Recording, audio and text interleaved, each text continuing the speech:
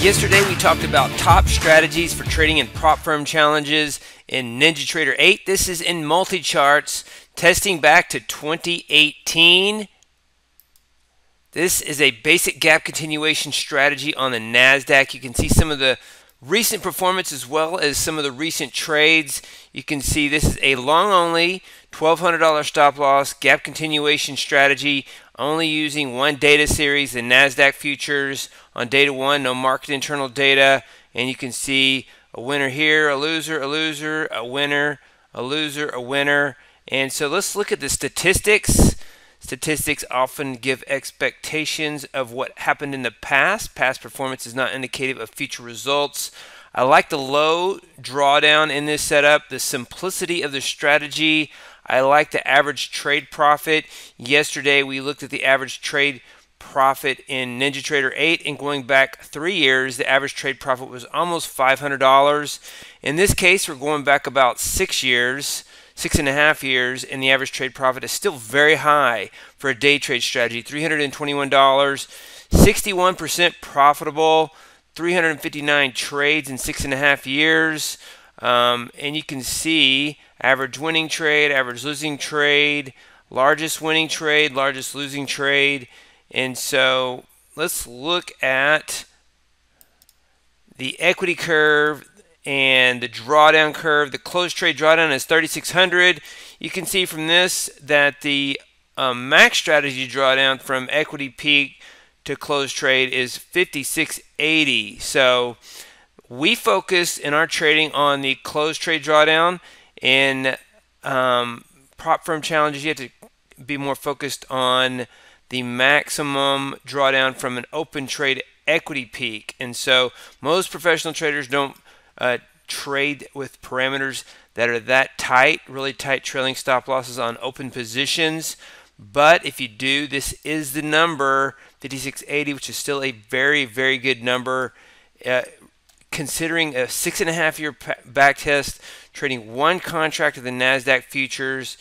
And so here's the equity curve again.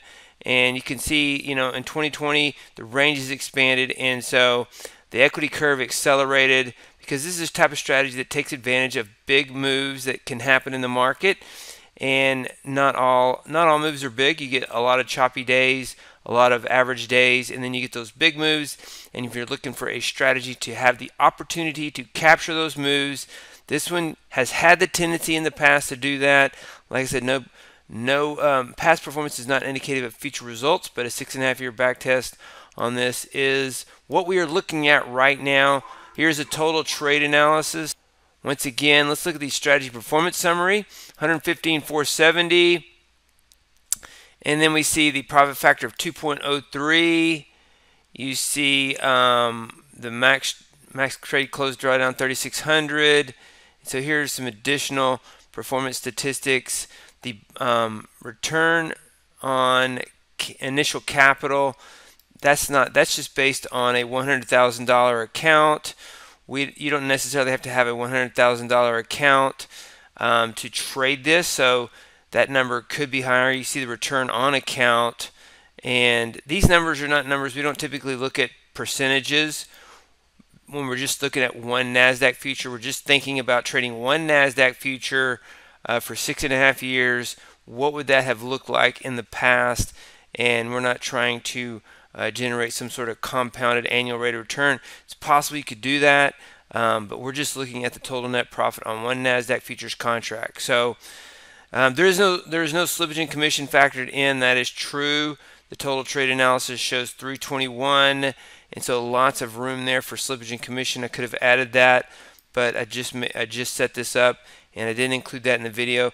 And typically, we look at $25 average round turn slippage and commission. Some trades are more, some trades are less. The factor, the difference being the slippage. The commission should be the same with your broker but the slippage can sometimes it can go in your favor sometimes it can go against you so on average we see about $25 round turn slippage and commission per contract and so this is just once again this is just one contract no compounding and going back six and a half years trading in nasdaq future strategy and this is the Gap continue 2020 long only with a $1200 stop loss hey david bean here welcome to capstone trading systems youtube page Be sure to subscribe to join our community of algorithmic traders. We are real money traders. We share our winning streaks, we share our losing streaks, as well as market updates, strategies, and coding tips.